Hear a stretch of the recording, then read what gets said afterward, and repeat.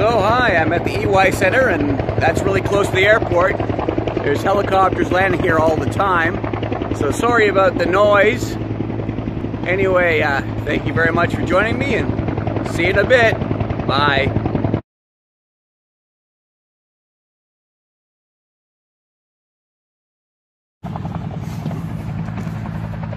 Oh, good morning everybody. I'm at the EY Center, and that's right beside the airport, as you can tell. You can tell by the sound of the helicopters landing.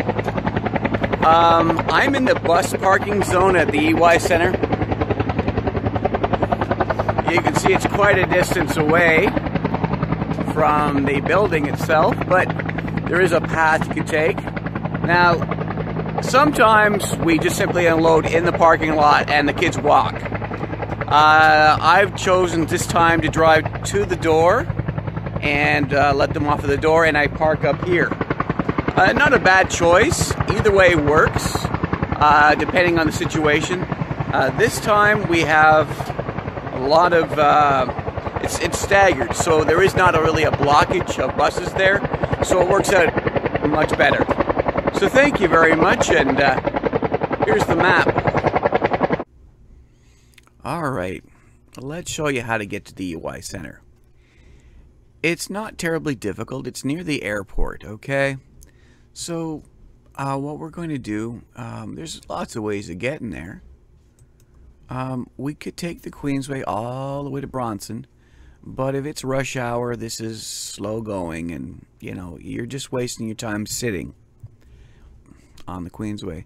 So what I chose to do, um, I took Innes and then flipped around onto the 417 eastbound. It's kind of south that way, but it's a, the the the signs all say eastbound. And then I got off at um, Hunt Club. And then again, you've got multiple ways of getting there, but I chose um, Conroy, and it generally works out really well. And Conroy gets me to Davidson. Uh, and Davidson, well, that becomes Lester. And then it becomes Uplands Drive. And that gets me right there. I'll show you there. Lester. And it becomes Uplands. Now, when we get there, okay, we're going to go to satellite. Now, you notice how like the airport is right here.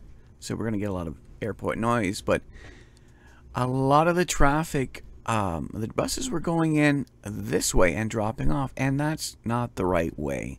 Again, this is what Google Maps does to you, right? Um, we actually have to go in. I'll show you. Really close. Notice here we actually have lines for buses. The best way to get in there is you drive in. This is where you're going to park, but you're going to go down and drop your kids off here, okay, at the entrance.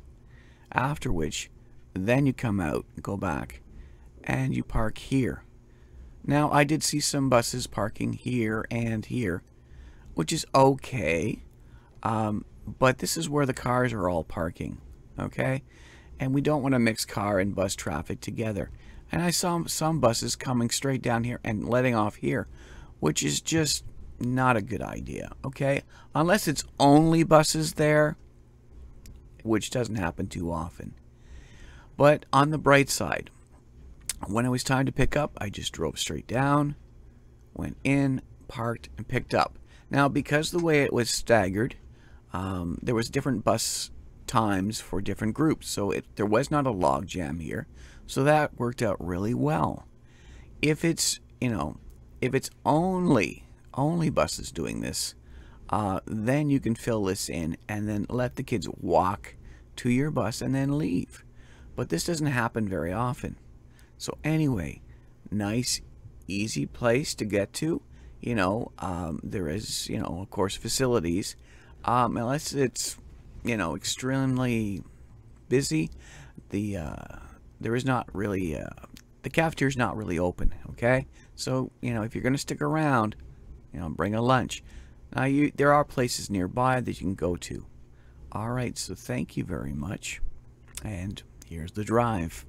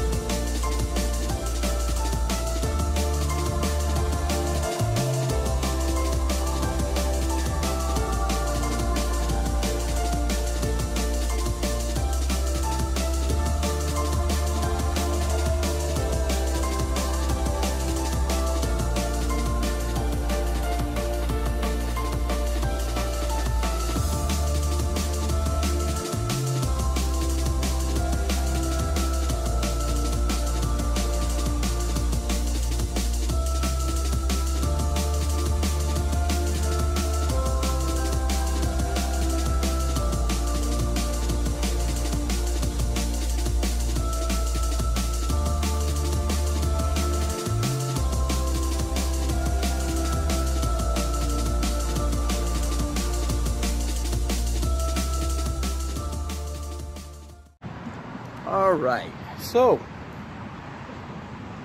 the reason I do these videos um, is so that new bus drivers learn how to do these charters. Um, Google Maps is a useful tool, but it doesn't always give you the right way of traveling through these places or where to park. So I try to make these videos so that brand new bus drivers or bus drivers who are just getting into charters learn how to do these charters the right way or a better way. So hopefully, you know, um, you learn from this. But anyway, thank you very much for watching this video. You take care and see you in my bus. Bye.